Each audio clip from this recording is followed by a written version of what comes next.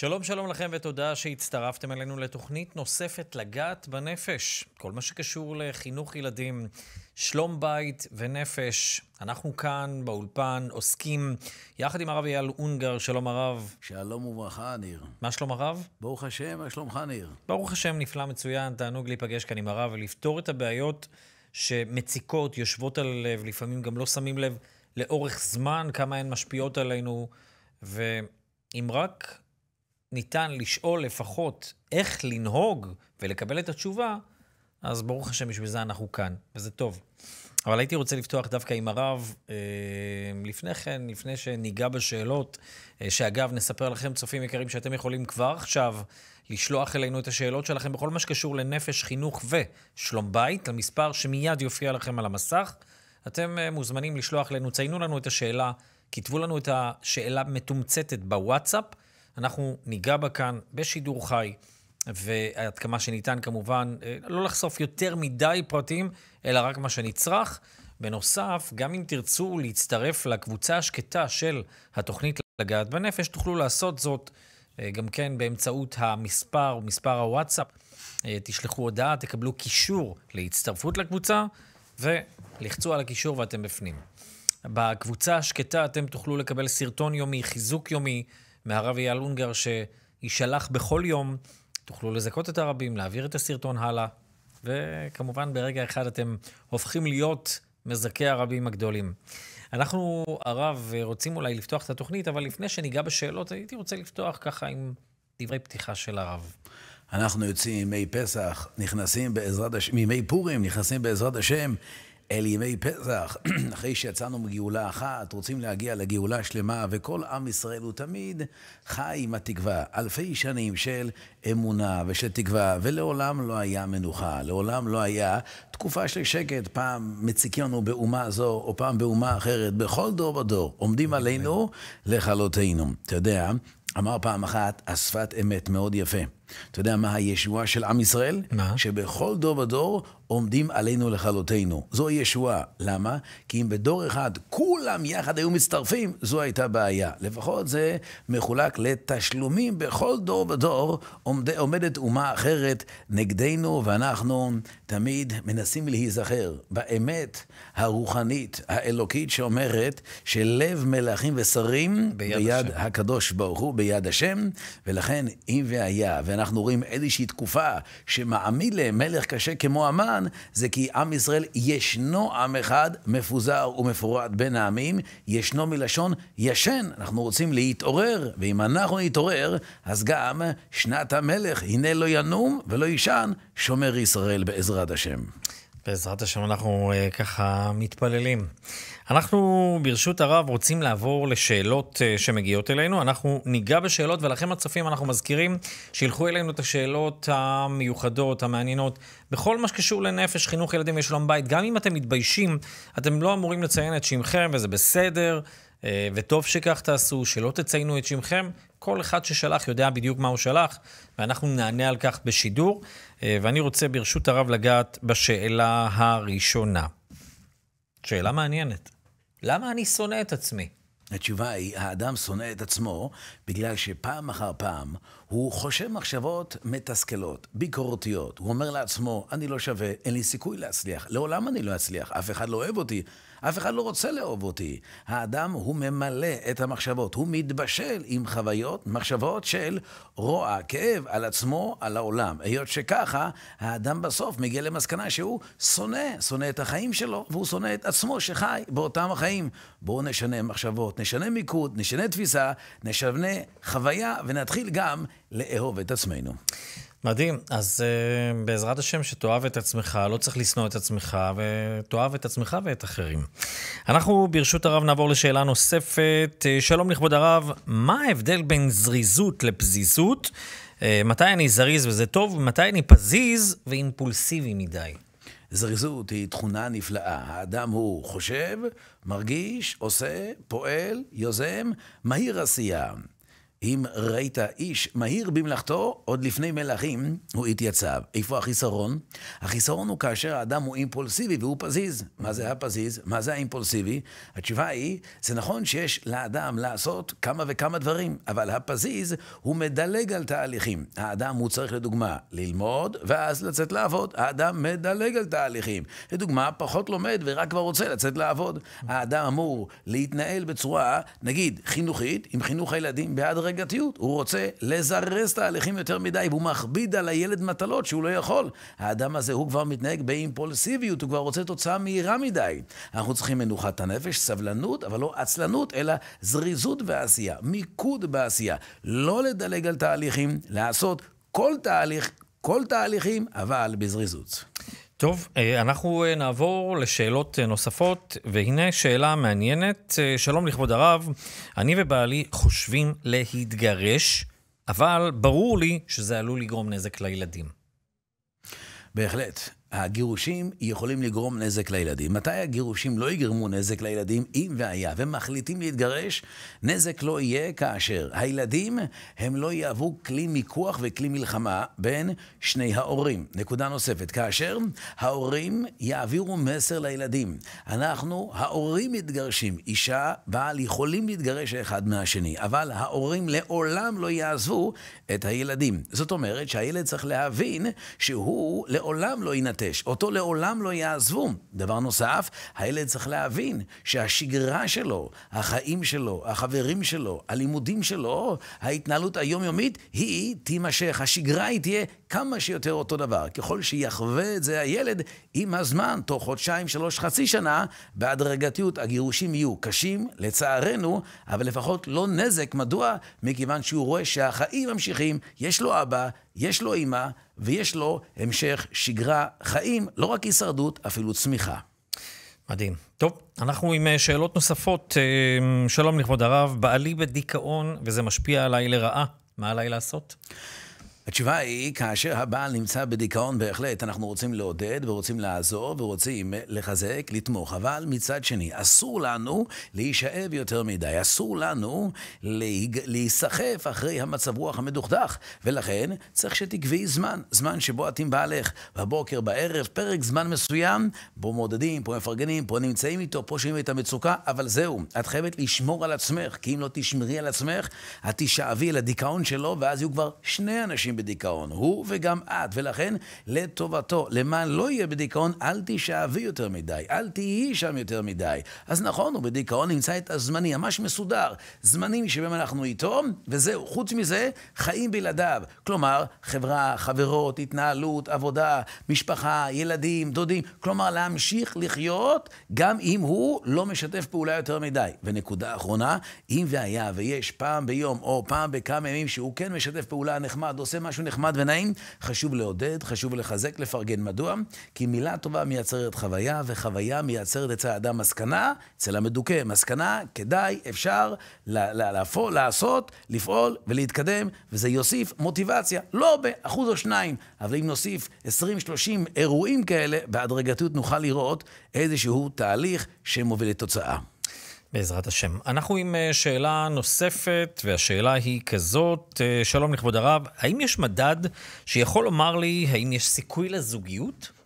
אם והיה ובהווה, נשאל את שני בני הזוג, מה זכור לכם בעבר שלכם, בזוגיות שלכם, איזה שהם אירועים נחמדים וטובים?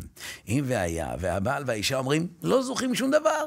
אני לא זוכרת כלום, שום דבר לא היה טוב. אז אם היא אומרת את זה היום, בסדר. אבל אם כבר שבוע, שבועיים, חודש, חודשיים, היא לא זוכרת כלום, הוא לא זוכר כלום, זה שהאדם לא זוכר כלום מכל מה שהיה בעבר שלו, הרי הם נשואים כבר חמש, שבע, עשרים, ארבעים שנה, לא זוכרים כלום מכל מה שהיה בעבר, החוויות הטובות, זוהי עדות לכך שכנראה החוויות השליליות כל כך הצטברו, כל כך הגיעו לממדים גדולים, עד כדי כך שהם השכיחו מאדם את הזיכרון של החוויות הטובות. אז זה נכון שהם זוכרים שעשו דברים. הם זוכרים, טסו ביחד, טיילו ביחד, עשו ביחד, אבל הם לא זוכרים את החוויה הטובה שהיה בדבר. לכן, אחד המדדים לדעת האם יש סיכוי לעתיד, לבדוק האם יש איזשהו זיכרון מעבר טוב וחיובי. אם זוכרים עבר טוב וחיובי, יש עוד ניצוץ עם עבודה, מקצועיות, התנהלות נכונה, אפשר להאיר את הזוגיות, על ידי שנצליח להאיר גם כן את אותו ניצוץ. בעזרת השם. שתעשו ותצליחו. מקווה שהזוגיות, אה, שהמדד יהיה טוב, שאנחנו, מדד חיובי זה דבר טוב.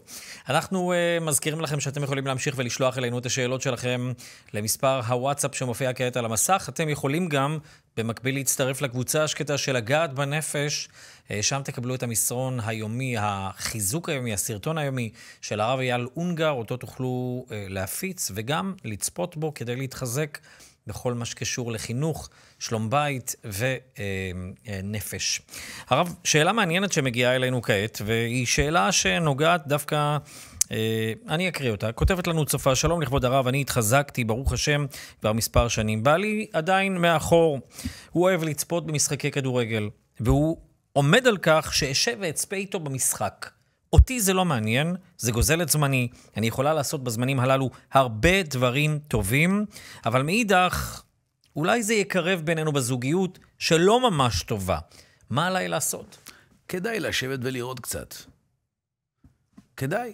כדאי לשבת קצת לראות איך בועטים בכדור. 11 אנשים מכל צד רצים אחרי כדור בועטים, ועוד 20 או 30 אלף אנשים שמריעים על בעיטה טובה. זה אפילו מצחיק, הרב. למה כדאי? התשובה היא, מכיוון שבסוף מה שמקשר בין בני אדם, yeah. זה החוויות המשותפות. אז נכון שזו לא חוויה שהיא אוהבת, אבל היא חזרה בתשובה, הוא לא, היא נשארה, היא הולכת קדימה, הוא כביכול בעיניה נשאר באחור. איפשהו כנראה גם הוא מרגיש רע עם התדמית. מה? היא אוהבת חיי עולם, השקעה, ערכים, הוא מתעסק עדיין בכדור, בועטים בכדור משחקים של ילדים קטנים, והוא עדיין מתעסק בזה. אז איפה שהוא מרגיש רע, אולי אפשר שהוא בכוונה רוצה שהיא תשב, שלא יהיה יותר מדי בולט ומונצח, את ערכית ואני לא, את שווה ואני לא. בואי תשבי איתו, בואי תרדי לרמה הנמוכה. זה לא אומר שאת בוחרת לאהוב כדורגל, זה כן אומר שאת בוחרת להתקרב אליו. זו הגדולה, לרצות, להתקרב, להתחבר, לדבר. הוא יספר, ההוא רץ, ההוא בעט, ההוא מסר, לא משנה.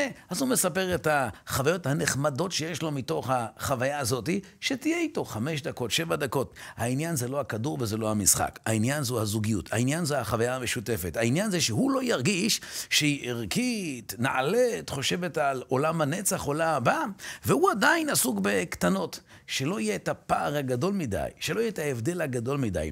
לכן כן אבל, כדאי לשבת איתו. אבל מצד שני, הרב, היום הוא דורש ממנה לשבת איתו, לראות איתו, קצת חוויה. מחר הוא יבקש ממנה לבוא, ללכת איתו לקולנוע. איפה הגבול? אתה צודק שבהיבט מסוים אנחנו תמיד נמצאים באותו איזון עדין, שכשאני בא לקראת מישהו, אולי הוא ינצל אותי. מצד שני, תמיד שיהיה קשר בין שני בני אדם, אנחנו צריכים ליצור את הגבולות האלה שאני בא לקראתו והוא בא לקראתי.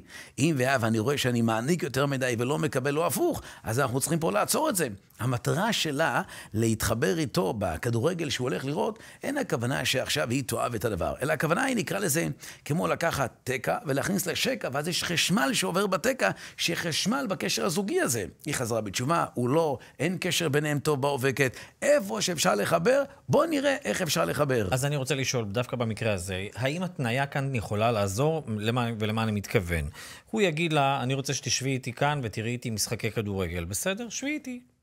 שתי, אני אשתה בירה, את תשתי מה שאת רוצה, משקה קל, אין שום בעיה, מצוין, אני יושבת איתך. אבל בתנאי, שכשאני הולכת לשיעור תורה, אתה תבוא איתי. האם היא יכולה להתנות, או שאסור לה להתנות את זה?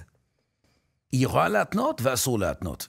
אוקיי, אז למה? למה אסור להתנות? ו- ולמה היא יכולה, להתנות? היא יכולה, אני מבין למה, אבל, אבל, אבל למה אסור להתנות? זה יותר מעניין. התשובה היא מכיוון שאנחנו רוצים שתהיה חוויה. חוויה זה להרפות, זה לא לראות מה אני מחויב לאחר מכן. אוקיי, אז אם היא לא תגיד ורק כשהיא הולכת לשיעור תורה, תגיד לו, אתה רוצה לבוא איתי? זה כן בסדר? בדיוק. ארבע שעות לאחר מכן, יומיים לאחר מכן, תגידי, בוא נעשה עוד חוויה משותפת.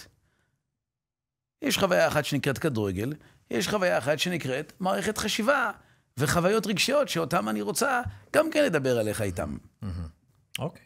ואז המקום הזה, זה יותר קל. וגם המקום הזה גם כן תהיה תשובה למה שאתה אומר מנושא הקולנוע. אז יש גבול מסוים איפה היא תגיד. תקשיב, להישאר בבית ולראות ביחד, אז זה נחמד לך, לא נוגע את עולם האחים שלי, בוא נמצא משהו משותף. אבל ללכת למקום שהוא קיצוני מדי, ואולי נראה בחוץ, זה כבר לא נעים, אז זה כבר השקעה קשה מדי מבחינתה.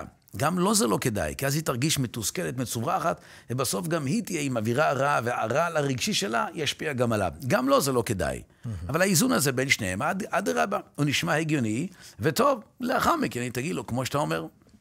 טוב, אה, בעזרת השם שיהיה בהצלחה. אה, מקווה שהאישה לא תתחיל לעודד גם כן, אבל אה, לפחות... שתעודד אותו. אותו, אותו, זה הכי חשוב. אבל איזה יופי שעם ישראל שואל כאלה שאלות.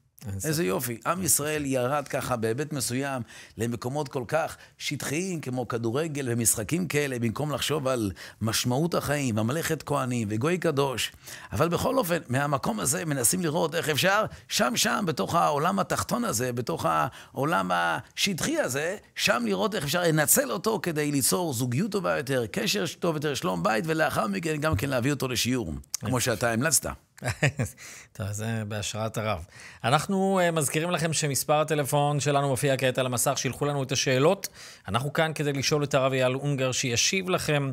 Uh, לפעמים הרב מפחדים לשאול שאלה, רגע, מה הרב יגיד? אולי הרב יגיד לי כן ואני לא אוכל לעמוד בזה, אולי הרב יגיד לי לא ואני גם לא אוכל לעמוד בזה.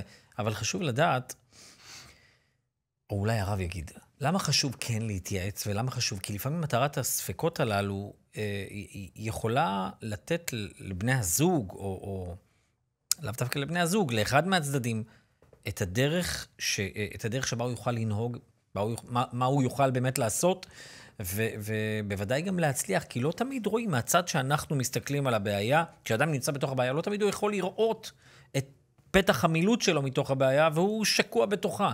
אלא אם כן, מישהו מאיר לו עם זרקור מבחוץ, ואומר לו, הנה, הנה, מכאן הפתח, בוא תצא. אני רוצה להגיד לך שמה שאתה אומר הוא דבר, ונקודה חשובה, דבר חשוב, ושלמה המלך אומר, הכסיל הוא שונה באיוולתו. ושלמה המלך אומר, ראית חכם בעיניו, תקווה לכסיל ממנו. ואני אסביר בעזרת השם את שני הפסוקים האלה. דבר ראשון, האדם שהוא כסיל הוא אדם שחוזר על אותן טעויות. אתה יודע, תמיד כשנעשה משהו חדש בחיים, נטעה. למה? כי הוא חדש. אז אם הוא חדש, אז זה מסלול חדש, אז טועים בו קצת. Mm-hmm. אבל לפחות יש גיוון בטעויות. אני מתנסה בדבר חדש, אז גיוון בטעויות זו עדות לצמיחה. האדם הטועה הוא בעצם צומח. כי הוא בעצם עושה משהו חדש. טוב מאוד. הדברים הישנים אנחנו לא טועים בהם. למה? כי אנחנו כבר מכירים אותם. אומר הכסיל, הכסיל הוא שונה באיוולתו. אותה טעות, עוד פעם ועוד פעם, תגוון בטעויות. לך אל מסלול חדש, שדה חדש, ניסיון חדש, משהו חדש. לא, אותה טעות, כל פעם מחדש. חוזר הביתה, הבית לא מסודר, הוא כועס. כל פעם מחדש, אותו דבר כבר חמש שנים? Mm-hmm. זהו, די, הרי זה הבית. בואו נתחיל לחשוב על טעויות של כעסים במקום אחר, לא אותו דבר. בואו נתחיל למצוא תגובות חלופיות באותו מצב. אז שונה באיוולתו, הוא כסיל, כך אומר שלמה המלך. עוד אומר שלמה המלך, אם ראית חכם בעיניו, אדם שהוא מאוד חכם בעיניים שלו. הוא בעיניים שלו פיקח, והוא חכם, והוא יודע, והוא מבין, אז הוא בעצם מנתח את מערכות החשיבה מהעולם המאוד מצומצם שלו, אבל כשאדם מנתח את מערכות החשיבה, את מערכות המציאות, כפי מה שהוא מכיר, הוא מרגיש טוב עם זה. למה? כי הוא חושב שזה כל המידע הקיים בעולם. ולכן, אם ראית אדם שהוא חכם בעיני עצמו, תקווה לכסיל ממנו. מדוע? כי אם יש לך אדם שהוא כסיל, הוא לא חכם, אבל לפחות הוא לומד. אם הוא לומד, איזה הוא חכם? הלומד מכל אדם. Mm-hmm. איך נקרא החכם ביהדות? תלמיד חכם, הוא תמיד תלמיד. כי אם האדם הוא חכם בעיני עצמו, הוא כבר לא חכם. אם האדם הוא תלמיד, הוא תמיד יהיה חכם. כי הוא תמיד רוצה ללמוד. הוא תמיד רוצה לראות איך אני כן יכול. אז גם אם והיה והאדם שואל שאלה, וזה לא לגמרי נראה לו ברמה שלו ואפשרי מבחינתו, בסדר. אז לפחות הוא יודע מה האידיאלי, הוא יודע איפה הוא נמצא. עכשיו בואו נתחיל לראות איך אני מייצר את האסטרטגיה או בונה את הסולם המתאים להגיע לאותו מקום. לפחות לפתוח את מערכות החשיבה. מה גם שאנחנו מנסים פעם אחר פעם לתת תשובות תשובות שהן לא 100% אבסולוטי. אנחנו מגדירים לא פעם שחמישה אחוז התקדמות זה המאה אחוז האפשרי. ולכן אנחנו לא רוצים להכביד על בני אדם ולהראות שהתשובה היא או שחור או לבן. אנחנו תמיד מחפשים את הצבעים שבאמצע, כי העיקר זו המגמה, זו התנועה. בהחלט. אנחנו ניגע בשאלה נוספת. שלום לכבוד הרב, אה, אני אימא של בחור לא צעיר שהתאהב בגויה. אשמח אם הרב יורה לי מה עליי לעשות. אני ובעלי עובדי עצות, כמה שאנחנו מדברים, כועסים, לא עוזר לנו. קשה. ההורים לא יצליחו כנראה לשכנע את הילד. אם ניסו, לא, יצל... לא, לא יצליחו. אבל הילד הולך לאבדון. נכון. אבל כדי שנמנע את האבדון הזה, כדאי למצוא מישהו אחר. אפילו כדאי לשלם לחבר טוב, שהוא זה שינסה לחדור אל ליבו של אותו ילד יקר. זה מעניין, הרב. למה ההורים לא יכולים להשפיע? התשובה למה רמת ההשפעה שלהם היא כל כך נמוכה עד כדי, אפס... עד כדי ממש כמעט אפסית? התשובה היא בגלל שככל שילד, נער, גודל, יש בו בהיבט מסוים צורך שנקרא עצמאות. הצורך הזה בעצמאות הוא גובר אפילו על פני עצות יעילות, טובות, הגיוניות, אפילו שקשורות לנצח שלו בעולם הזה, בעולם הבא. אפילו שמה, האדם הוא כמו מאבד את שיקול הדעת. זה כמו שתגיד עכשיו, יש בן אדם שהוא מאוד אוהב ללמוד, מאוד אוהב להעמיק בפילוסופיה, במתמטיקה, בפיזיקה, בכימיה, או יש לך בן אדם שמאוד אוהב להרוויח כסף, הוא מאוד מוצלח בלהרוויח כסף, הוא איש עסקים גדול מאוד, אבל הוא צם יומיים. אם הוא צם יומיים, הוא יכול לתפקד כמו שצריך? לא. הוא צריך קודם כל לאכול, נכון? כן. עכשיו תשאל אותו, תגיד לי, מה הדבר שאתה הכי אוהב בחיים? לאכול? הוא אומר, לא, פשוט עכשיו זה צורך. זה לא הדבר הכי יעיל והכי חכם והכי טוב, זה פשוט צורך. Mm-hmm. אני אוהב להרוויח כסף, אני אוהב ללמוד, אני אוהב להתקדם, הרבה דברים אני אוהב. נכון שאני צריך עכשיו לאכול. אותו דבר גם כן לגבי הנער. יש הרבה דברים של משמעות החיים, מטרת החיים, מידע שהוא יכול לקבל, אבל מול ההורים יש לו פתאום צורך של עצמאות. אני קובע, אני אעשה. אז זה כמו אותו אחד רעב. אז עכשיו הוא רוצה לאכול. זה לא הדבר הכי חשוב בחיים, אבל אי אפשר בלי זה. הוא רוצה עכשיו את העצמאות. לכן הורים בהרבה מאוד מקרים מאבדים את הכוח שלהם. זה מתחיל תהליך בהדרגתיות, זה קצת מורכב. איך זה התחיל התהליך של עיבוד ה... היכולת להשפיע של ההורים על הילד, אבל בכל אופן, זו הסיבה. העצמאות, הצורך בעצמאות. ולכן אמרנו פעם, אמרנו פעמיים, רואים שיש כל פעם חומה, יש חיץ, כנראה שהצורך להתחבר לאותה אישה גויה, הוא נובע לא רק מהצורך שהוא בנה לעצמו ויצר לעצמו עם הזמן, אלא יש בזה גם ממד שהוא קשור גם להורים. אדרבה, אני אעשה, אני אוכיח, אני יודע, אני מבין, אני יודע מה הדבר הנכון. ולכן, אדרבה, כדאי פה להורים להרפות לגמרי, סומכים עליך, אנחנו יודעים שאתה יודע, מכיר את מערכות החיים של הערכים שלנו, אתה תעשה מה שאתה מבין, אנחנו סומכים עליך. להרפות לגמרי, אבל להשתיל מישהו אחר, שהוא זה שיבוא, יעזור, ישפיע וידבר. טוב, בעזרת השם אנחנו מקווים, מתפללים שהקדוש ברוך הוא יפתח את ליבו ויוליך אותו למקום הנכון, הכי טוב עבורו ועבור כלל עם ישראל. אגב, גם עבור הגויה. גם לגויה לא טוב להתחתן עם יהודי. זה לא יעשה לה טוב. לא רק לטובת היהודי אנחנו אומרים את זה, אנחנו ודאי שאדם קרוב אצל עצמו, אנחנו מדברים על העם שלנו, אבל גם לטובת הגוי זה לא נכון. הנפש של גוי והערכים של גוי זה לא נפש של יהודי. בסוף זה יתנגש, בסוף זה לא יעבוד ביחד. מאיזה בחינה הרב?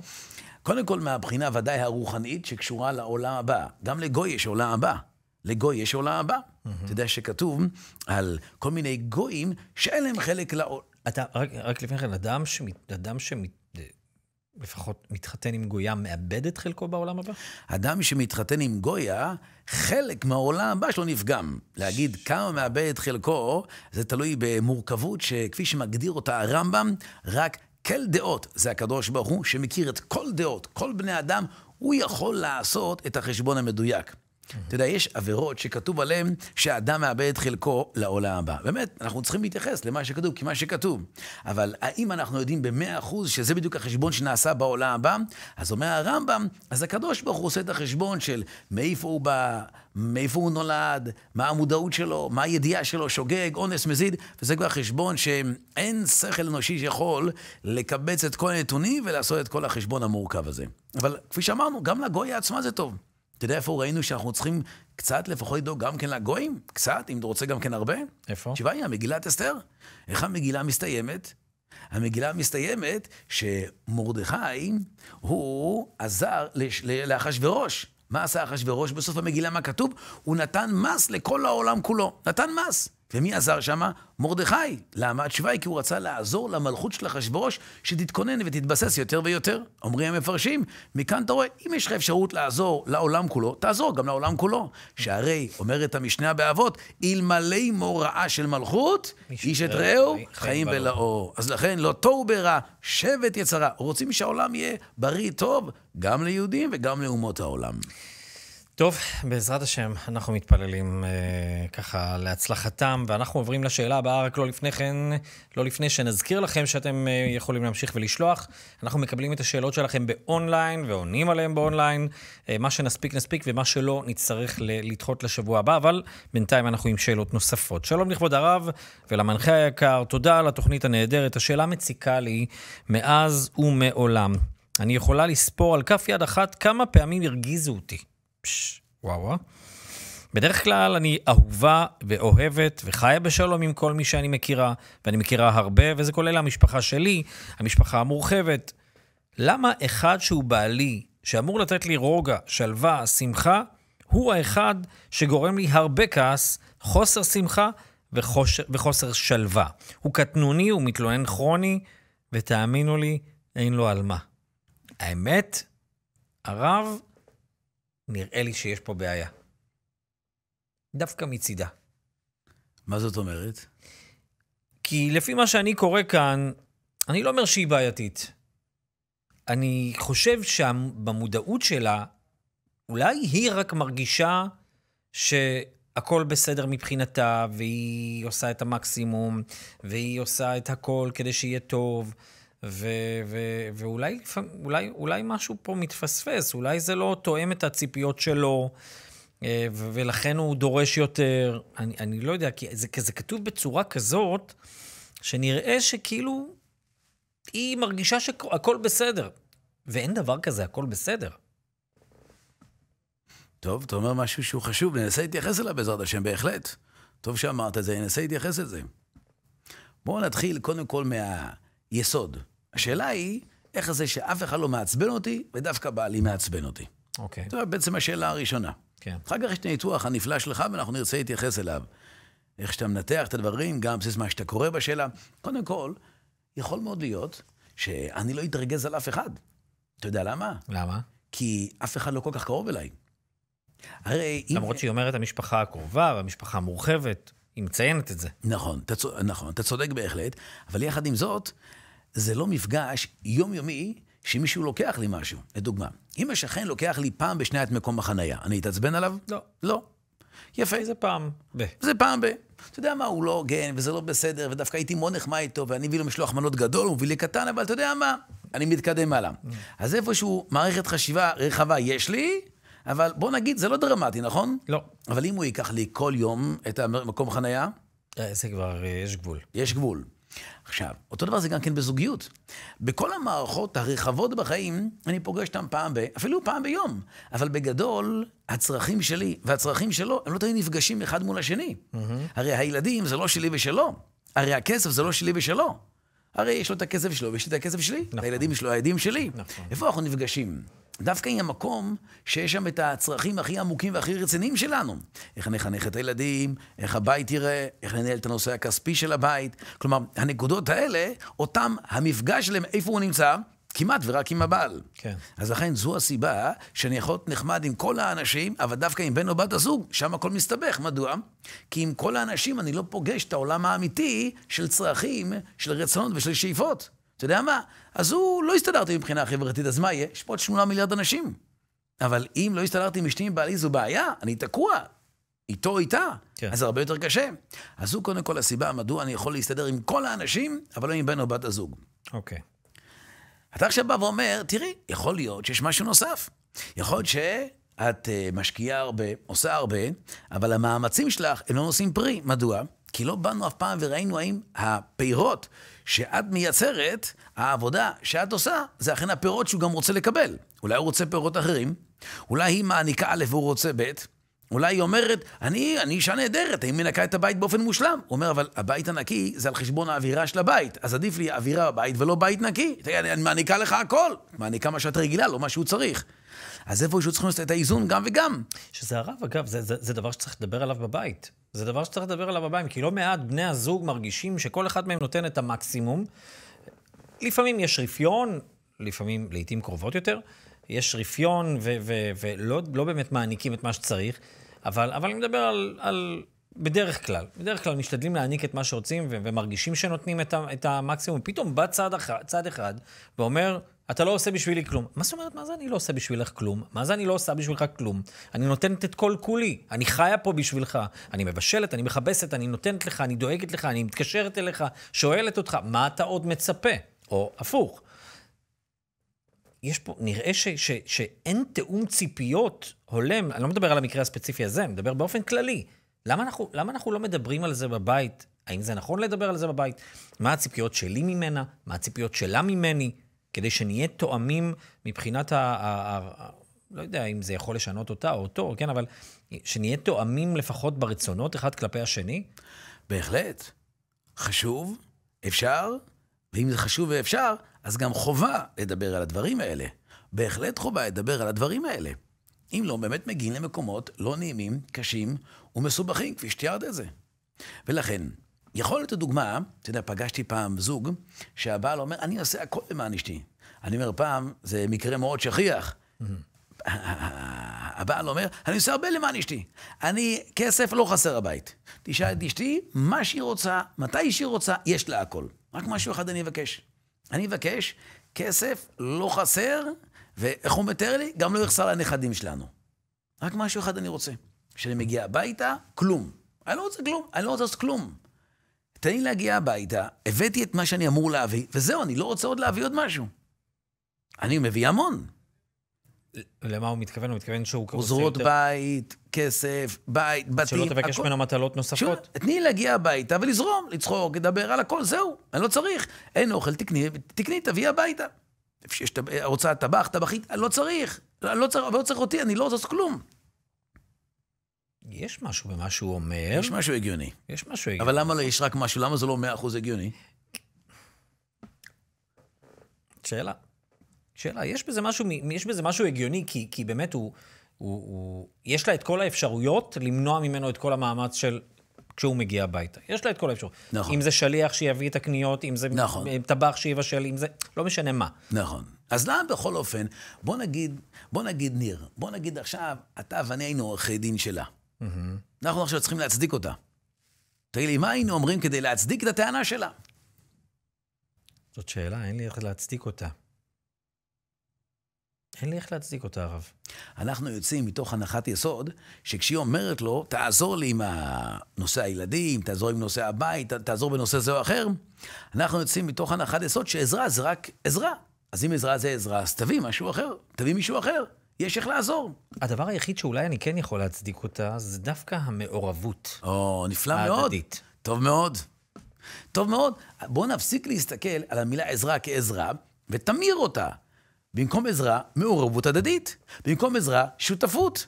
זאת אומרת, נכון שאפשר הכל לעשות, אבל אם ככה, אז תחיה אתה בארץ ואני בקליפורניה. זה גם אפשרי, נכון? נכון. ניפגש סופי שבוע, זה גם בסדר, לא? יש נכון. מטוס פרטי לכל אחד, זה יכול לעבוד, נכון? נכון. אז אם כאן הכל טוב, אבל הכל רע. למה הכל רע? כי עזרה זה לא עזרה. עזרה זה שותפות. אני רוצה שותפות. אני רוצה, בואי נדבר על הדברים ביחד, בואי נדבר על, על הקניות, בואי נדבר, בואי נדבר על משהו ביחד. אם אין מה לדבר, אז בוא ניצור משהו אחר, שיהיה בו שותפות. בוא נבין את... אולי בסוף, שהוא, שיהיה מי שיעשה לה הכל. אבל לא זה הנושא, הנושא היא שהיא מחפשת קשר, היא מחפשת שותפות. זה מזכיר... זה גם, אגב, יהיה טוב לו. זה מזכיר לי שאדם סיפר לי, מישהו שפגשתי, שסיפר לי שהוא התחיל שיפוץ בבית. ודווקא בשיפוץ בבית, אשתו רצתה, היא רצתה מאוד מאוד לשבת, והבית שלהם הוא יחסית, בסדר, בית יחסית די חדש ויפה. אבל היא רוצה שיפוץ, זה בסדר. הוא החליט לתת לה שיפוץ, הוא הביא את כל הכסף שהיא צריכה בשביל השיפוץ. אבל היא עדיין מתלוננת. מה התלונה שלה? אני הולכת לראות את הקרמיקה, אני הולכת לראות הכל, אני הולכת... אני, אני, אני, אני, אני, אני. איפה אתה? אמר לה, אבל מה את רוצה ממני? אני הבאתי לך את הכסף. תעשי מה שאת רוצה.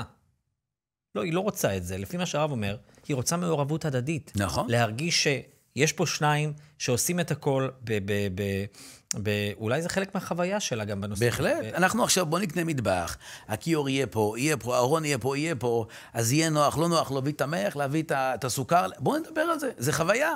אתה יכול להגיד, אבל זה רק מלח, רק סוכר. אתה צודק, אבל ככה זה גם כל החיים. Hmm. סך הכל כל החיים זה רק מלח, סוכר, עגבנות מלפפונים, קצת לחם, וזה נגמר בסוף, נכון? זה נכון. אלא מה, אתה רוצה משמעות לזה. מה המשמעות? המשמעות זה הביחד, איך, ב... איך ביחד הכי נוח להביא את החלב מהמקרר. נכון? בוא נייצר את זה. וואו, כמה זה חשוב. אז בהחלט, זה אולי, במקרים מסוימים, ידרוש מהבעל להגיד, אתה יודע מה? אני אעבוד שעה אחת פחות ביום, אני אעבוד שעתיים פחות ביום, כדי שיהיה לי יותר זמן למעורבות של הבית. מצוין. אבל אולי נרוויח פחות כסף, זה בסדר גמור, מצוין, אז בואו נדבר על זה. האם המעורבות שייכת רק אצל האישה, או מעורבות אה, שקשורה גם לילדים? אה, להכל.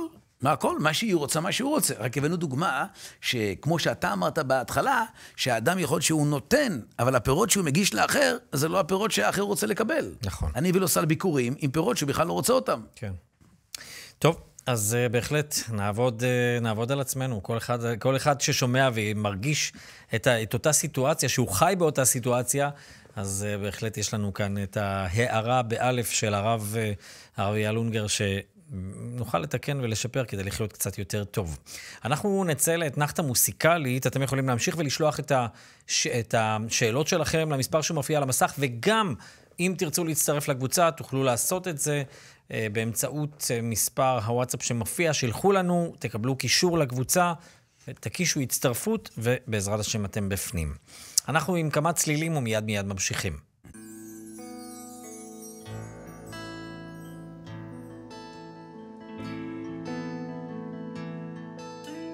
לב נשבר ועצבו, אינו עניין אחד. כי לב נשבר יקר מאוד, יקר בעיני השם. לב נשבר ועצבו, אינו עניין אחד. כי לב נשבר יקר מאוד, יקר בעיני השם. לב נשבר ועצבו, אינו עניין אחד. כי לב נשבר יקר מאוד, יקר בעיני השם. לב נשבר ועצבו, אינו עניין אחד.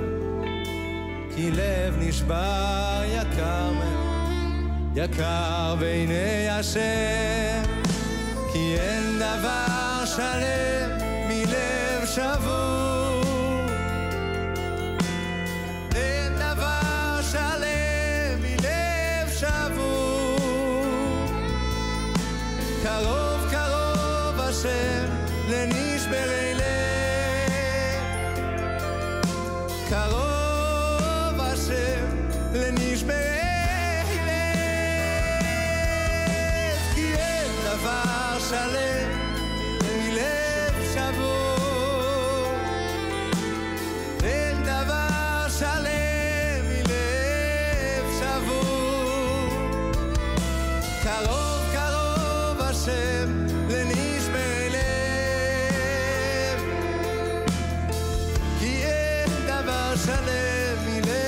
שבור. לב נשבר ועצוב, אינו עניין אחד. כי לב נשבר יקר מאוד, יקר בעיני השם. לב נשבר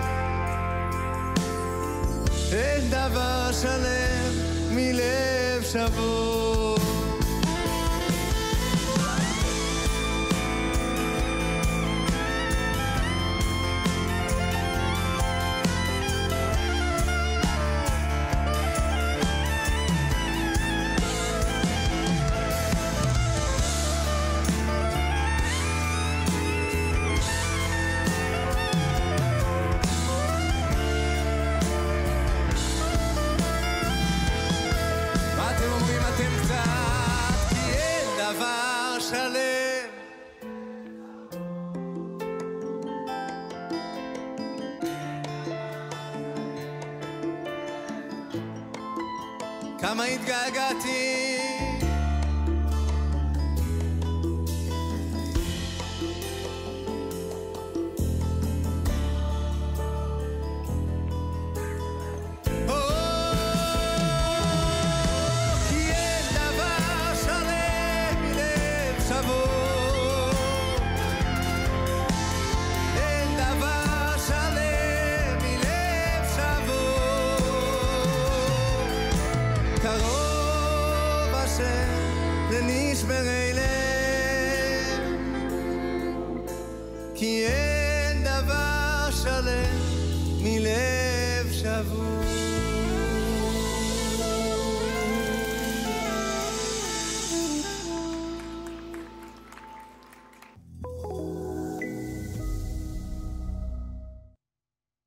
תודה שחזרתם אלינו, ואנחנו בלגעת בנפש עם הרב אייל אונגר, בכל מה שקשור לנפש, חינוך ילדים ושלום בית.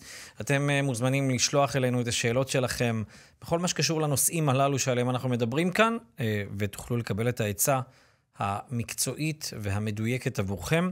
אנחנו, אה, ברשות הרב, נעבור לשאלות הנוספות, והשאלה היא כזאת.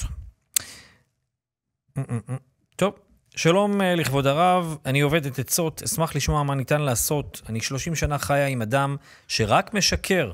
לוקח כספים מאנשים, משקר להם ולי כל הזמן. עכשיו שוב הכל התפוצץ והוא שוב מבטיח הבטחות, שיהיה ישר ומוסרי, מבטיח לעשות הכל, רק שלא אעזוב אותו. הבעיה הכי גדולה שהוא מתפלל, חובש כיפה, כיפה ומצטייר כאדם דתי. מלעיט את כולם, כולל כולם, בסיפורים עד ששוב הכל מתפוצץ. מה לעשות? יש אנשים שיש להם מחלה של לשקר, לשקר ולגנוב. אני לא אומר שזה האדם, רק השאלה הזו, היא מעוררת את ההתייחסות ואת האמירה הזאת. יש דבר כזה, שבני אדם הם ממש חולים בנושא הזה שיש להם רצון, צורך, להרגיש כוח, להרגיש שליטה, להשיג, לשקר, ואפילו לגנוב. ולכן, אם והיה, ומחליטים שרוצים להישאר עם אדם כזה, אם והיה, ואת רואה שפעם אחר פעם, האדם הזה, הוא לא מחליף גישה. האדם הזה, פעם אחר פעם, נשאר באותו מצב. הוא שיקר בעבר, משקר בהווה, מת, מתחנן אה, להזדמנות לתשובה. אז זה נכון שאם אנחנו מדברים מבחינת האדם ויחסו עם הקדוש ברוך הוא, אז אומרים כל יום בתפילת העמידה, שלוש פעמים ביום, סלח לנו. מבקשים מהקדוש ברוך הוא סליחה. למה? הוא חנון המרבה לסלוח. הוא מרבה לסלוח, הקדוש ברוך הוא. אבל אנחנו כבני אדם, יש גבול כמה אנחנו יכולים לסלוח. אנחנו רוצים לסלוח, רוצים הרבה לסלוח, רוצים לסלוח מעבר לרגיל. אבל כדי שנוכל לסלוח, צריכים גם כן לסלוח בצורה חכמה. ומה זה? התשובה היא לצאת מתוך הנחת יסוד שזהו. האדם הזה, הוא שיקר בעבר, הרבה מדי פעמים, ומחר לא ישתנה. הוא לא ישתנה, זהו. אם והיה והוא ישתנה, חובת ההוכחה תהיה עליו. Mm-hmm. את מבחינתך, זהו, תצאי מתוך הנחת יסוד שלהשתנות, הוא לא הולך להשתנות. עכשיו תשאלי את עצמך, אני עכשיו חיה עם אדם שהוא שקרן. איך אני רוצה לחיות עם אדם שהוא שקרן? האם זה אומר שבגלל שהוא שקרן, אני לדוגמה אעשה חשבון נפרד? אני לדוגמה אשתף אותו במינימום מינימום מהדברים. כשהוא יספר איזשהו אירוע מסוים שהוא עשה, אמר, קיבל וכדומה, דוגמה, קיבל כסף, קיבל מתנה, אני אומר לו, בלי הוכחות, אני לא רוצה לדבר על זה. הוא יגיד לך, סליחה, למה את חושדת בי? תגיד, תקשיב, כשאתה תוכיח לי אחרת, אני לא אחשוד. אני לא רוצה להיפגע פעם נוספת. אני נפגעתי עמך 50 פעם, 20 פעם. עכשיו זכותי להגן על עצמי. זכותי עכשיו לצאת מתוך הנחת יסוד ששיקרת בעבר, גם מחר תשקר. אתה רוצה להגיד שזה לא יהיה מחר ככה? אין בעיה, תוכיח.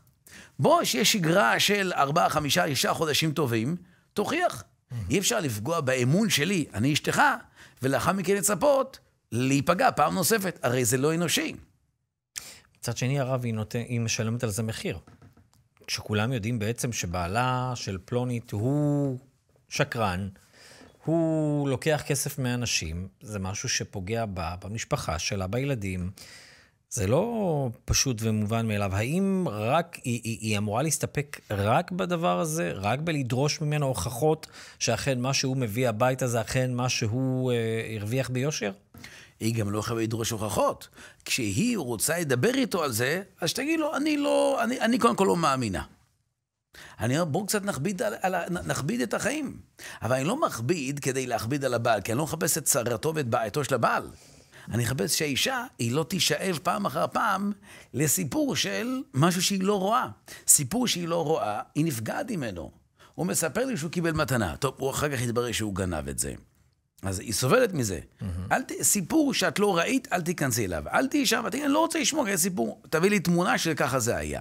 אני לא אומר את זה כדי להיות קטנוני, אני אומר את זה כדי להגן עליה. אתה אומר עכשיו, מה היא תעשה עם החזות המשפחתית, שיווקית, משפחתית, ככה מדברים על בעלם? שזה חלק בלתי נפרד, אין מה לעשות. מדובר פה במשפחה שבסופו של דבר יש כאן ילדים, יש שם מסגרות חינוך, יש כאן אנשים שמכירים, זה גורם הרבה מאוד עלבון והרבה עוגמת נפש. אני חושב שאם והיה והיא תסגור את המערכת המזינה את השקרים שלו, אז יהיה לה גם כן יותר השפעה עליו, שהוא יחליט שכך הוא כבר לא יכול לחיות. הרי תאר לך את אותו אדם, שהוא מגיע הביתה, והוא מספר, התקבלתי לעבודה חדשה. לא רוצה לשמוע על זה. דבר איתי מה קורה איתך עכשיו. לא רוצה לשמוע על מה שהיה בעבודה. לא רוצה לשמוע כלום, לא מאמינה. אני לא מאמינה, לא כי אני רוצה לפגוע בך, כי אתה פגעת בי. אני חייבת להגן על עצמי. תאר לך עכשיו איך היא מגבילה את כל מערכות החיים שלו. היא צריכה להיות מסודרת, קרירה, עניינית, אדישה, ממוקדת. כל סיפור שלא ראיתי, אליו אני לא מתייחסת. מבחינתי הוא לא היה. אתה רוצה להגיד שהוא היה, תביא תמונה, נדבר על זה. אם לא, דבר איתי עכשיו, ואתה רואה, עכשיו השולחן יש פה אגרטל יפה, בוא נדבר עליו. זהו. אני לא מדברת על מה שלא ראיתי. תגבילי את כל ערוצי הקשר. וואו. אם והיא תגביל את כל ערוצי הקשר, אז הוא ירגיש את ההגבלה הזאתי. האם ביקשתי להשפיל אותו, לבזות אותו? לא, ביקשתי אני כאשתך להגן על עצמי. אני לא רוצה לבזות אותו, להשפיל אותו, אני לא נכנסתי למלחמה. זה ממש לשנות את כל אורח החיים שלהם. עדיף לעשות את זה מאוחר מאשר אף פעם לא. אין מה לבכות על חב שנשפך, אבל לשפוך אותו גם מחר זה כבר יהיה טעות. כן, טוב, זה כבר אמרנו בל תשחית. הכסיל זה בל תשחית. אמרנו הכסיל הוא שונה באיוולתו. כן.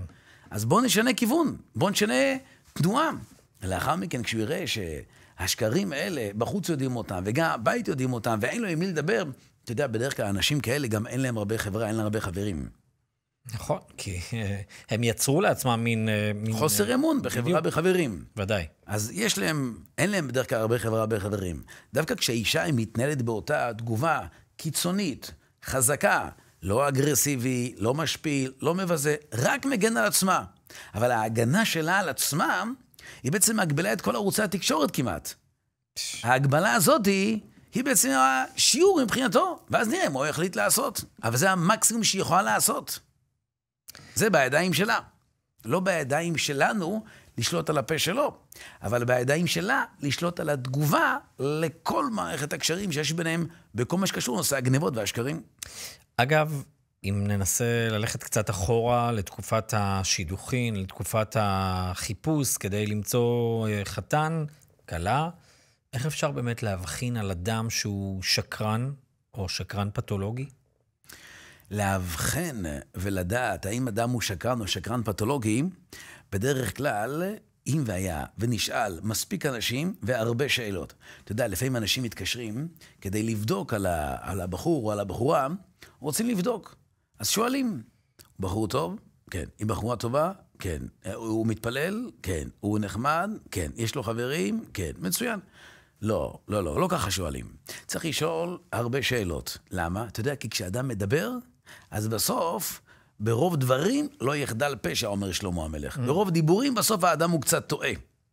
ואם והיה ויש לאדם הזה חברה, חברים, ויש לו התנהלויות שהוא פועל והוא עושה והוא יוזם, אז כנראה שיש לו חברה ויש לו חברים, אז הם לא סולדים ממנו. אם לא סולדים ממנו, אז כנראה שבכל אופן בהקשר הזה, את נושא השקרים אין לו. אדם שהוא שקרן, בטח גנב, חברים אין לו, חברה אין לו הרבה.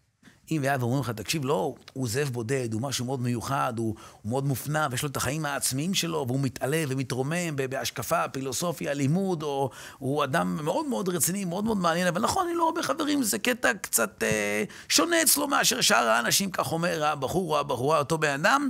הייתי אומר, בוא, זה מפעיל כאן נורית אדומה רצינית. אני לא מזלזל במופנם, חס ושלום, אבל אם כבר האדם בחר להיות מופנם, בדרך כלל זו שאלה למה. זה לא תמיד מגיע עם מקום טהור ענייני, כי פשוט הוא החליט להתבודד ולהתעלות במעלות רוחניות. בהרבה מאוד מקרים זה יכול להתחיל מבעיות חברתיות, קשיים, בושה, עודף בושה, חרדות, וזה יכול להסתיים גם כן במקומות שמת, הרבה חברה וחברים אין לו בגלל בעיות יותר חמורות. טוב, אה, נאחל בכל מקרה בהצלחה בעזרת השם, ושיחזור לעצמו. אנחנו, אה, אנחנו נעבור לשאלה נוספת, אה, שאלה מעניינת. שאלה מעניינת, אני בטוח שגם הרב אולי אה, נתקל בה אולי פעם או פעמיים, לא יותר. שלום לכבוד הרב. אני נמצא בהרבה מאוד מקומות, גם במקום עבודתי, גם במקום, במפגשי חברים, ואני שומע תמיד את החברים מדברים דברים נגד נשותיהם. הייתי שולח אותה, כדוגמת, הייתי שולח אותה לחו"ל, אה, שתעזוב אותי, שתרפה, שתיתן לי מנוחה, שתיתן לי חופש. ואני, כשאני שומע את הדברים, אני לא ממש מצליח להבין על מה מדובר. כי אני מרגיש שהחברה הטובה ביותר שלי זו אשתי. אבל אני מרגיש שאני הלא תקין. האם יש משהו אצלי, או שמא אני בסדר והם כנראה לא? אשת בריתך היא חברתך, כך אומר הנביא. אז אם אתה מרגיש שאשתך היא חברה טובה, אז אתה באמת לא בסדר. כי אתה לא בסדר הרגיל של הרבה אנשים סובלים. אבל אתה כן בסדר בינך לבין אשתך, וזה דבר נפלא. טוב מאוד, טוב שאתה מרגיש שהיא חברה, טוב שאתה מרגיש שיש שותפות, טוב שאתה מרגיש שיש את מה שמברכים בשבע ברכות, אהבה ואחווה ורעות ושלום, ואתה מרגיש את החברות הזאת. השותפות והחברות, אתה יכול להרגיש טוב, אתה יכול להרגיש נינוח, אתה יכול להרגיש בסדר גמור, ואולי זו הזדמנות בלי שאף אחד רואה, שים יד על הפה ותמלמל כמה פרקי תהילים על כל בעיות השלום בית שיש אצל האחרים שרוצים לשלוח את האישה לחוץ לארץ, או שהיא כנראה רוצה גם לשלוח אותו לחוץ לארץ, ושלא לדבר על הילדים הסובלים שם. כן. אתה יודע, עדיף זוגיות טובה, ולא לדעת איך לנהל טוב את החינוך מאשר מחנכים מצוינים, אבל אין ביניהם זוגיות טובה. זוגיות טובה זה מעל החינוך, למען החינוך. אווירה טובה, אווירה נעימה, חברות. טוב, אז uh, אתה בסדר, הכ- הכל בסדר אצלך, תהיה רגוע, אתה בסדר. Uh, כמו שהרב אמר, תתפלל עליהם שגם אצלם הכל יהיה בסדר, ו... אם הם היו אמיצים, הם לא היו אומרים, איך אני שולח את אשתי לחוץ לארץ. היו אומרים, תקשיב, אני מסתכסך איתה בנושא זה או אחר, בוא נחשוב איך אנחנו פותרים דברים. אבל אתה יודע, להגיד דברים כאלה, זה מתאים לאנשים משכילים, חכמים, פילוסופים, לא לאנשים שרוצים לצחוק, להתבדח, ואוהבים את החיים הפשוטים. אבל מי שאוהב חיים פשוטים, סובל. מי שמודע שהחיים מורכבים, הוא בסוף מרוויח. אתה יודע, פעם אחת אמר לי מישהו, תקשיב, תן לי, תן לי עצה, אבל תן לי עצה פשוטה, אל תיתן לי משהו מורכב. Mm-hmm. אז אמרתי לו, בסדר גמור, אתה יודע איך מטיסים מטוס? אמר לי, לא. אמרתי לו, זה מורכב או פשוט? מורכב מאוד. אז תגיד, תאר לך, עכשיו אתה מגיע לטייס, אתה אומר לו, תקשיב, ת, אני, אתה, אתה רוצה ללמוד להיות טייס? אתה אומר, אני רוצה ללמוד, אבל אני רוצה בצורה פשוטה. מה אומרים לך? לא נותנים לך ללמוד. למה? כי זה מורכב. למה? כי יש עשרות כפתורים, עשרות התנהלויות, עשרות תרחישים, עשרות מקרים, מה פתאום לא מורכב? אותו דבר גם כן זוגיות. אם אתה מחפש חיים פשוטים, אתה תסבול הרבה. מי שאוהב מורכבות, הוא יאהב את החיים הטובים. אתה יודע, זה בדיוק כמו שגם בתחום, בתחום כלכלי. יש אנשים אומרים, תקשיב, מספרים זה לא בשבילי. אתה ראית פעם אנשים... יש אנשים שפחות מתחברים לזה. אתה ראית פעם עשיר גדול שאומר מספרים זה לא בשבילי? אה, זה... חי מספרים. אבל אתה תראה הרבה אנשים שסובלים מבעיות כלכליות, מה אומרים? לא, מספרים זה לא בשבילי. אם זה לא בשבילך, אז אל תעבוד עם כסף. אז אתה לא יכול גם לא לעבוד וגם לא להקריא מספרים. תחליט מה אתה רוצה. אם אתה רוצה לעבוד עם כסף, תלמד מה זה מספרים. לא, אני מסתבך עם אחוזים ובנק וריביות ו... לא, לא, לא, לא, עצור, עצור. אם אתה רוצה שיהיה לך כסף, אז תלמד מספרים. לא אכפת לך מכסף, אין בעיה, אל תלמד מה זה מספרים. אני רוצה זוגיות טובה. אז תלמד מה זה מורכבות. אני לא רוצה מורכבות. אז, אז, אז לא יהיה לך זוגיות טובה. אז תמשיך עם הבדיחות שאיך אני מטיס את אשתי לחוץ לארץ. אז זה מצחיק את החברים שלך, אבל הדקה שהחברים שלך צוחקים מהבדיחה הזאת, היא לא שווה ל-23 שעות ו-59 דקות, זה סבל שאתה מרגיש. טוב, אנחנו מאחלים שלום בית אמיתי, בעזרת השם, עד 120, אה, ואל תתרגש, החברים יכולים להמשיך לצחוק. אתה כמובן תהנה, אם אה, הם יעשו איזשהו שינוי בחיים, גם הם ייהנו, אבל עד אז, על זה נאמר צוחק מי שצוחק אחרון. כן. והאחרון הזה זה לא עוד 40 שנה, זה חמש דקות אחר כך. כן. טוב, אנחנו עם שאלה נוספת. שלום לכבוד הרב, אה, אני לא אומר את השם, אה, אני סובלת מדיכאון הרבה שנים עם טיפול תרופתי. אשמח אם הרב יוכל לומר לי גם אה, איזה פרק אוכל להתפלל כדי שיקל על הדיכאון. פרק תהילים. פרק תהילים כזה? ש... יש, יש פרקי תהילים שעניינם הוא ישוע והצלה. לדוגמה, יש לך פרק כ' בתהילים, למנצח. מזמור לדוד. יענך השם יענך צרה. ויש גם כן מזמורים שמטרתם היא להכיר תודה, להכיר טובה, לייקר, מה זה? כמו מזמורת תודה, פרק ק' בתהילים. אתה יודע שאומרים, בת ק' כבת כ'. זה נאמר על שרה אימנו. שרה, נאמר עליה שכשהיא הייתה בת מאה, היא הייתה כמו בת עשרים. ברעננות שלה, בת מאה כמו בת עשרים. אז אומרים בעלי המוסר, בת ק' כבת כ'. פרק תהילים ק', מה זה? מזמורת תודה, מודים לקדוש ברוך הוא על הכל. פרק כ', מה זה? יענך ביום צרה, על הצרות.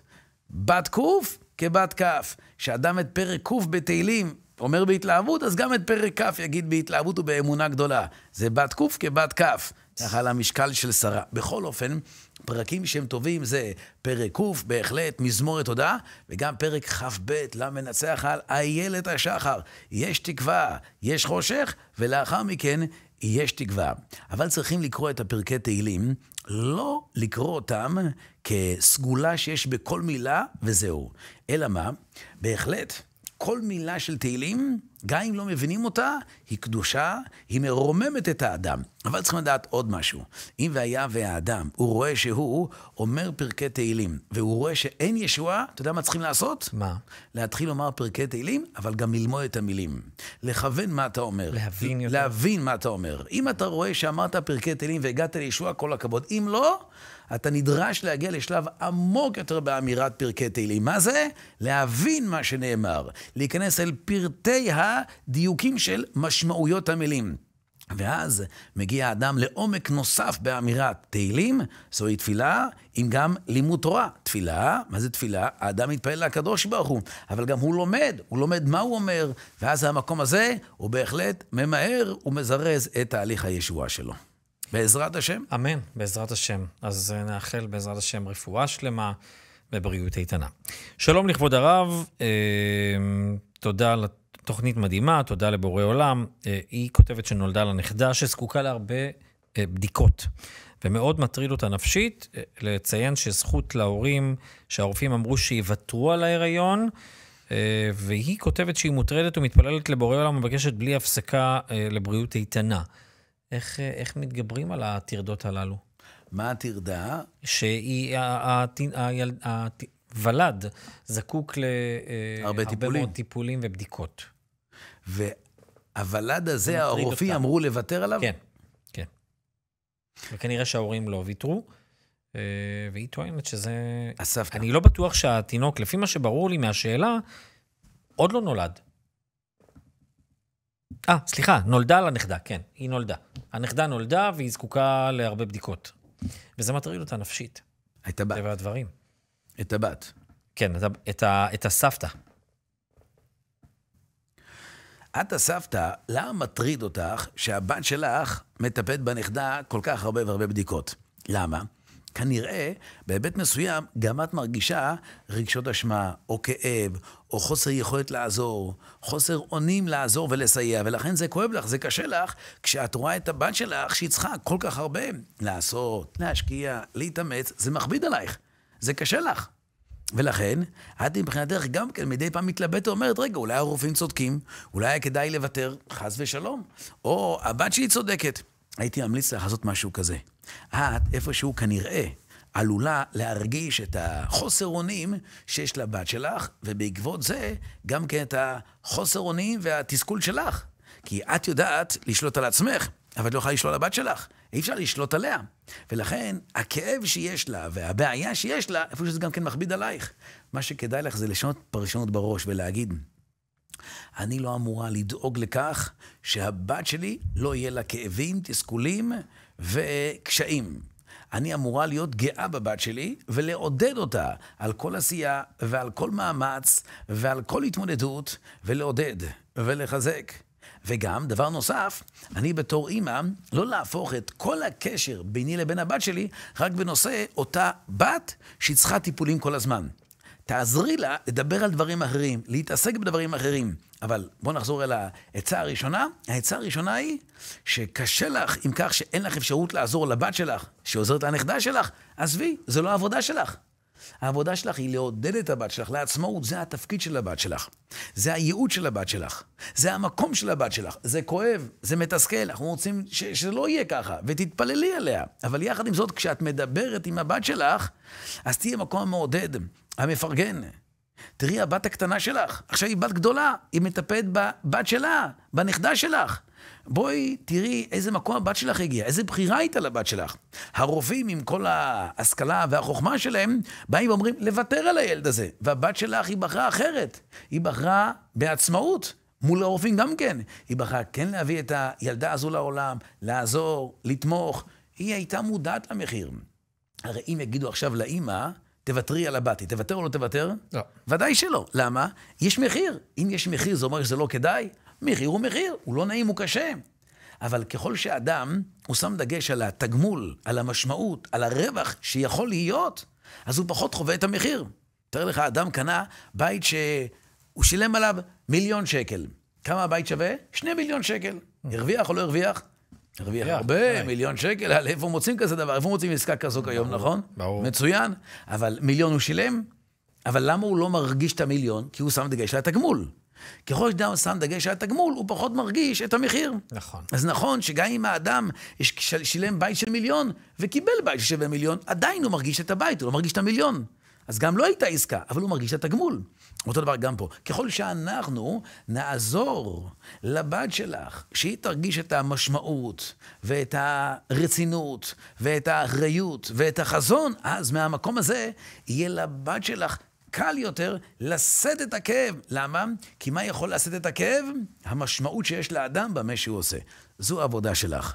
להוסיף משמעות. כל הכבוד, אני גאה בך.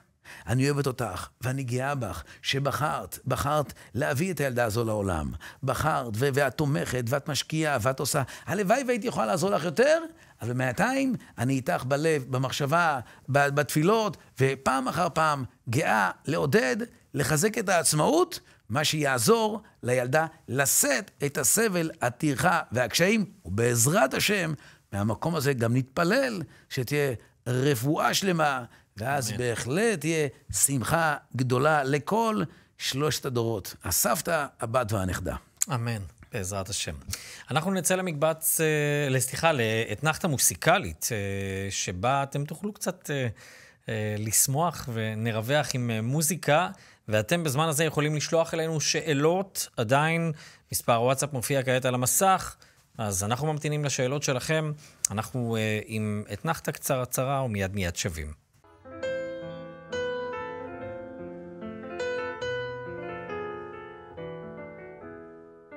איפה הכפיים שלכם לתזמורת הנפלאה, עמי כהן?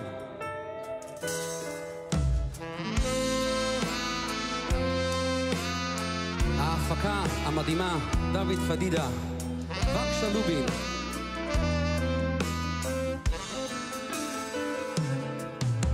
אוי מלך יחיד, מלך יחיד, יחיד ומיוחד. מלך לא יבש רחמים וי מלך מלכי המלובוכי וי מלך פוידה ומעצי וי מלך יוחיד מלך יוחיד יוחיד ומיוחות מלך לוי ושרחמים אוי מלך מלכי המלוכים, אוי מלך פוידה ומציל, אוי מלך, מלך, רום וניסו, אוי מלך, שוי מיה אפילו,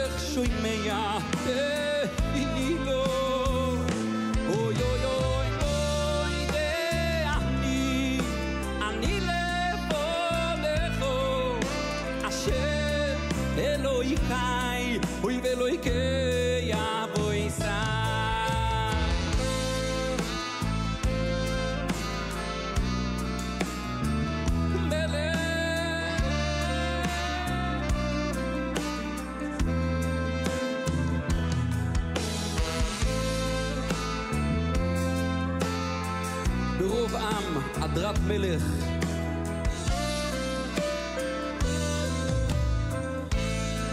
אריאל אהרון.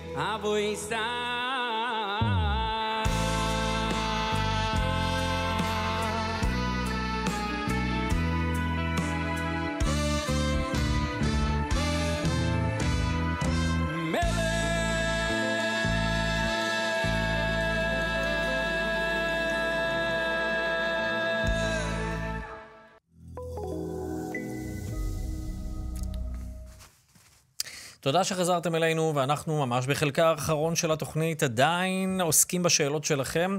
ננסה לגעת ככל שיותיר לנו הזמן, אבל אה, גם אם לא נעסוק השבוע בתוך, בשאלות שלכם, אנחנו נוכל לעסוק בשאלות הללו בשבוע הבא, בעזרת השם. הכל מגיע לכאן, נצבר כאן, וכאן אנחנו, אה, בעזרת השם, נענה לכם על השאלות שלכם. הרב, אה, אנחנו עם שאלה נוספת שמגיעה אלינו. אה, וכך כותבת לנו הצופה. ערב מצוין ותודה על תוכנית מחזקת ומרימה. אני באופן כללי חרדתית, מה שמתסכל זה שכל כאב, ואפילו הכי קטן, מכניס אותי לסטרס ענק שגם ככה קיים. קיים. אה, אני פעילה ספורטיבית ברמה, ברמה עצימה, מנסה כל דבר כדי להתגבר ולהתמודד. אשמח לתשובתכם, תודה מכל הלב. כדאי פעם אחת ולתמיד לטפל בחרדה. מה זה? זה בעצם חרדה. איך מטפלים בזה, הרב? או, בעצם, בעצם מה יש פה? יש פה איזושהי חרדה. מה זה חרדה? חרדה זה התעסקות יתר בהרגשה בדבר שאין לו בסיס במציאות.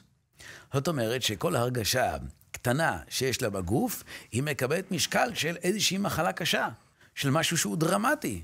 זה כמו היפוכונדר. מה זה? האדם, הוא מפחד שמא הדבר הקטן, הכאב ברגל, בראש, ביד, בכתף, מי יודע, אולי הוא מבשר רעות, מי יודע מה יהיה. אבל מה השורש של הבעיה?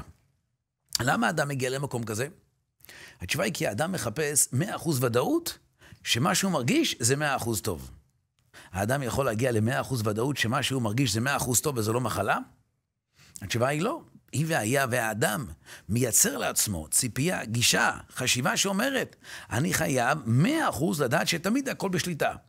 אם זו הגישה של האדם, האדם יסבול לא מחרדה, ממאות חרדות. וואו.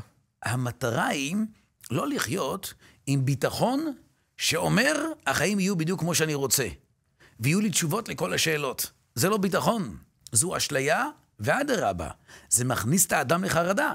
עודף שליטה מביא את האדם לחרדה. אז מה הגישה הבריאה? התשובה היא לדעת להרפות היכן שצריך להרפות. האם אני יכול, כשיש לי כאב, ללכת לרופא? כן, זה בידיים שלי. אבל האם אני יכול להיות בטוח שמה שאני מרגיש זה מאה אחוז בסדר? התשובה היא לא. אז מה שבידיים שלי, את זה אני עושה, שם אני בוחר לפעול ולעשות, והיכן שלא, שם אני מרפא. האם אני יכול להגיד לבן או לבת מה לעשות? כן. האם אני יכול לחנך? כן. האם אני יכול להעביר מסרים? כן. האם אני יכול להכריח את הבן, את הבת או את האחרים ששומעים אותי שיקבלו 100% את הדברים שלי? התשובה היא לא. אני יכול לשלוט על הפה, אני יכול לשלוט על התוצאה. כלומר, אנחנו צריכים ליצור את ההבדלה הברורה בין מה בידיים שלי ומה לא בידיים שלי. בידיים שלי לדבר, בידיים שלי לנהוג, אבל לא בידיים שלי לשלוט על הרכב שבא מולי. אני יכול לשלוט על הרכב שלי. האדם יגיד, אני לא עולה על הכביש, אלא אם כן אני בטוח 100% שאף אחד לא נתקע בי. האדם הזה יעלה על הכביש? לא. הוא לעולם לא יעלה על הכביש. נכון. למה? כי יש לו ציפייה לא הגיונית. יש לו ציפייה שתהיה לו שליטה על משהו לא בר שליטה. אותו דבר גם פה. האם יש לי שליטה שלעולם אני לא ארגיש איזה מיחוש זה או אחר בגוף? אדם עובר את גיל 35-40, אם כל יום הוא קם בבוקר ואין איזשהו כאב מסוים, זה כבר סיבה להגיד מזמורת תודה. ואם יש, אז שיגיד אה, למנצח יענך ביום צרה. אבל בכל אופן, תמיד צריך להגיד תהילים, השאלה אם זה פרק ק' או פרק כ', אבל בכל אופן, תמיד יש איזשהו מיחוש מסוים. אז מה יעשה?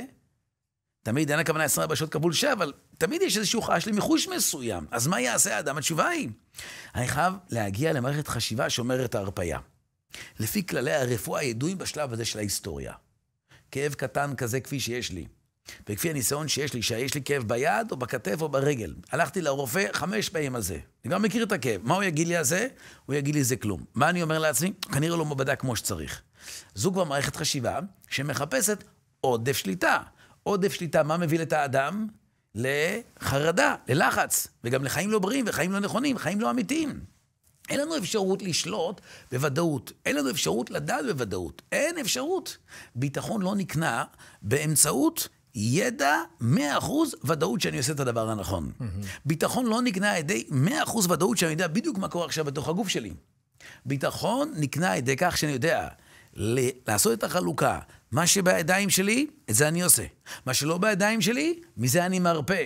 ואז כך מגיע אדם אל מנוחת הנפש. צריכים לטפח גישה שאומרת, האם עכשיו המיחוש שיש לי כעת, בכתף, ביד, ברגל, המיחוש הזה שיש לי, האם המיחוש הזה הוא מיחוש שלפי הניסיון שלי, המיחוש הזה זה מיחוש שאני אמור לדאוג ממנו? אם לא, אז אני מרפא. היי, תגיד לי כן, אבל אחד לעשרת אלפים, המיחוש הקטן הזה גודל למשהו גדול. אתה צודק, אני לא יכול להבטיח לך שלא. רק אנחנו לא חיים סטטיסטיקה של אחד לעשרת אלפים. אנחנו חיים סטטיסטיקה הרבה יותר ברורה ויותר רצינית, ולא סטטיסטיקה רחוקה כל כך.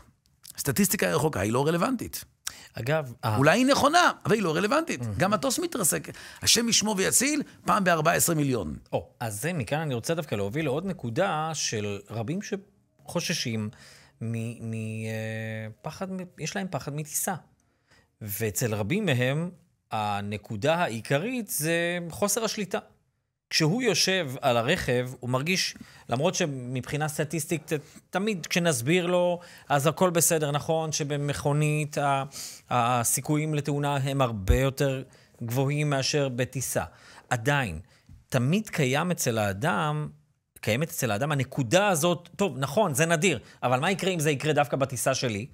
ומה יקרה אם אה, אה, אני לא שולט, אין, אין לי, אני מרגיש חוסר שליטה. וזה קורה גם, זה מה שמכניס את ה... אה, הרבה מאוד מ... אה, אלה ש- החרדות. כן, הח- הח- החרדות מטיסות, זה מה שמכניס אותם לסטרס. הם לא מסוגלים לעלות לטיסות, ואם הם צריכים לעלות לטיסה, אז זה שומו שמיים, זה, זה כבר... אה, באמת מגיעים לשמיים. כן, ממש, לגמרי, הרב. זה, זה מצב שניתן להתמודד איתו? בהחלט, אבל צריכים להחליף גישה במוח. איך מחליפים את זה דווקא בנקודה עצמה שהרב הזכיר? שהרב אומר עכשיו, במקרה אין לי שליטה על 14, 14 מיליון טיסות, לא, לא אבל אחד מה יקרה? זהו, המחשבה הזאת, מה יקרה אם זה דווקא בטיסה שלו? מי חושב את המחשבה הזאת? כל מי שפחות מטיסה. התשובה היא, האדם שחושב את המחשבה הזו, הוא מחולק לשני כוחות. אוקיי. יש כוח הגיוני שאומר, תקשיב, הסטטיסטיקה אומרת הכל בסדר. ואני לא אמור לחשוש ממטוס, כמו שאני אמור לחשוש מהרבה דברים אחרים לפני כן. זה הסטטיסטיקה, נכון? נכון. זה כוח הגיוני אחד. אבל יש כוח אחר, שזה כוח החרדה. יש שני כוחות בנפש האדם, הכוח ההגיוני והכוח החרדתי. אז מי חושב את המחשבה הזאת? לא האדם. אתה יודע מי חושב את זה? מי? החרדה שבו. חשוב שהאדם יגיד, זה לא אני חושב את זה, זה החרדה שלי. זה שאני מרגיש את זה, זה לא אומר שזה אני. אני הגיוני. עובדה שאני מגיע לטיפול, למה אתה מגיע לטיפול? אדרבה, תמשיך להישאר, אולי 1 ל-14 מיליון זה המטוס שלך יתרסק, אז אל תטוס. לא, לא, אני רוצה לטוס. למה? אולי זה 1 ל-14 מיליון. אתה מבין שזה לא הגיוני, נכון? אז יש בך שני כוחות. כוח אחד הגיוני שאומר, זה לא יקרה. לפי הסטטיסטיקה שאנחנו חיים איתה. ויש לך כוח, כי אם לא, אז אני גם לא יכול לחצות- לחצות את הכביש. זה... אז לפי הסטטיסטיקה שאדם חי איתה, הוא אומר, אני רוצה טיפול כי אני לא רוצה את החרדות האלה. למה? כי הסטטיסטיקה אומרת שיהיה בסדר. אבל יש מערכת אחרת שהיא חרדתית. היא אומרת, אני רוצה שליטה, 100% שליטה, שליטה, שליטה, שליטה. זה שני כוחות בנפש האדם. אז כנגד הכוח הזה אנחנו צריכים לפתח תכונת הרפאיה. תכונת הכנעה. מה זה הכנעה? הכנעה זה תהליך ארוך ומורכב, אבל שבו האדם בהדרגתיות, מה הוא מפתח? גישה חדשה. גישה חדשה שאומרת שבעצם לא אני הוא הסובל, מח... לא אני הוא החרדתי, אלא יש בי כוח חרדתי, זה לא אני. אני זה הכוח ההגיוני. יש בי כוח שהוא, שהוא סובל מחרדה. יש בי כוח חרדתי, אבל זה לא אני. דבר נוסף, הוא לא הגיוני.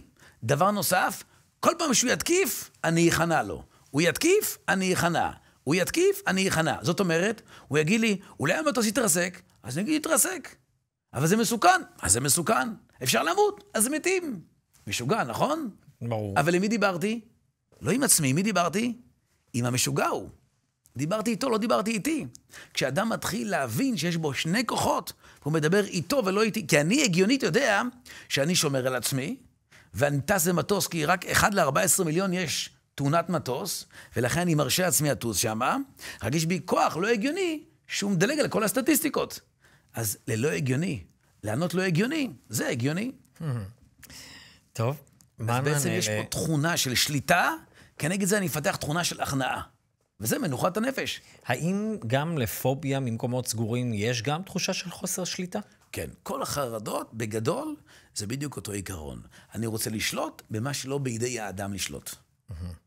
אבל זה לא רצון בריא, זה רצון שהאדם טיפח, פיתח. אם זה היה רצון בריא, אז האדם לא רוצה לטפל בזה. האדם אומר, תודה רבה, אני מוגן באמצעות החרדה. נכון. אבל האדם מבין שהוא לא מוגן באמצעות החרדה. האדם, הוא חי עם הרגשה דואלית. מה הכוונה? דו-כיוונית. יש כיוון אחד שאומר, יש חרדה, וזה מגביל אותי. ויש צד אחר, החרדה אומרת, לא, תקשיב לי, אני החרדה, אני מגנה עליך. ולכן, האיזון בין השניים הוא, כאשר אני מצד אחד אומר לעצמי, מה שבידיים שלי, את זה אני עושה. מה שלא, זה כבר תכונה של שליטה וחרדה. וכלפי זה אני אעשה בדיוק הפוך. הרמב"ם אומר, כאשר האדם סובל מבעיה מסוימת, מה יעשה? יעשה את ההפוך. הוא קמצן, אז יהיה פזרן. הוא פזרן, אז יהיה קמצן. ואז עם העשייה, האדם מתחיל להתבשל ולחוות תכונה חדשה, וכך הוא מרחיב את מעגל התכונות שלו. אז אם יש לי תכונה של שליטה, אני חייב לשלוט, אני חייב לשלוט, אני חייב לשלוט, אז כנגד זה מה אני צריך? הפוך, מה זה הפוך משליטה? הכנעה. נכנע, נכנע. אני חייב להיות מאה אחוז שאני בריא. אז אני לא אהיה לא מאה אחוז. אבל אולי אני, אולי אני חולה. אז אני חולה. מה עשיתי? הכנעה כנגד העודף שליטה. אבל לא דיברתי לעצמי, למי דיברתי? לחרדה שבי. ואז בהדרגתיות האדם מתחיל להגיע לגישה בריאה, שאומרת, יש בי את ההיגיון הבריא, ויש בי כוח אחר שהוא לא אני, הוא כוח חזק מאוד. אבל הוא לא אני, הוא אפילו יותר חזק מההיגיון שלי, אבל הוא לא אני. אבל באמצעות ההיגיון, אני אפתח תכונת הכנעה, ואז בהדרגתיות האדם מגיע לאיזון בין השניים. שהרי בסוף, לאיפה אנחנו רוצים להגיע? תיקח אדם רגיל שאין לו חרדה עם מטוסים, תגיד לו, מה, אתה לא מפחד שהמטוס יתרסק? הוא אומר, לא. תגיד לו, אבל אולי המטוס הזה יתרסק? יש לו תשובה שהיא לא תתרסק? יש לו תשובה? לא. אין תשובה. אז מה הוא עושה? הוא אומר, אין תשובה. הוא חי, אין תשובה, נכון? נכון. לשם צריך להוביל את האדם החר דתי, לחיות בלי תשובות. כי האדם הבריא חי בלי תשובות. מדהים. טוב, אנחנו עם התשובה הזאת חותמים אה, תוכנית נוספת, ואני בטוח שכמובן השאלות שלכם ייענו בהמשך, בעזרת השם, בתוכנית הבאה. כל מי ששלח ועדיין לא ענינו, אתם יכולים להמשיך ולשלוח, כי אנחנו אה, נעסוק בהם אה, בתחילת התוכנית בשבוע הבא. אה, הרב אייל אונגר, אני רוצה להודות לרב על התשובות המחכימות והמדויקות והמקצועיות. תודה רבה, הרב. תודה גם- רבה גם לך, ניר. ותודה לכם, הצופים שהייתם איתנו. אנחנו נשוב ונשתמע בעזרת השם בתוכנית הבאה. עד אז נאחל לכם המשך צפייה מהנה ומועילה.